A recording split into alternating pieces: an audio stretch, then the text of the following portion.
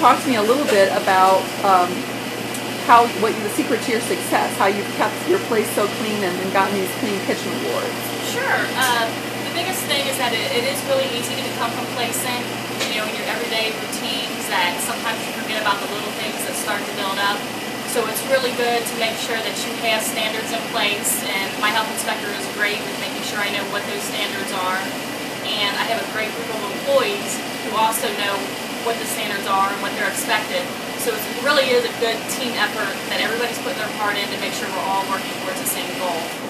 And is there a lot of training that goes into working with your employees, especially the younger seasonal employees? Absolutely. You know, a lot of them, this is their first job, so you have to train them on everything, not only food safety, but even basic skills such as working with cash handling, customer service skills. Um, some of them you actually have to start from ground zero and teach them how to sweep, how to mop. Um, so it is, it, and it's a continuing process.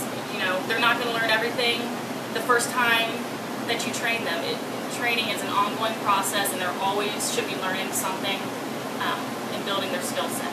Okay, this is our ice cream prep area. We have all of our machines, all of our frozen items we keep up here. So all of our food menu items are prepped back in this area. And this is all refrigerated, I guess, under This- here. Right, this is all refrigerated, prep table.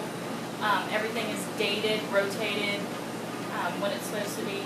Like I said, we keep track daily of all the temperatures to make sure all the equipment's functioning properly and holding all the food at the proper temperatures that it needs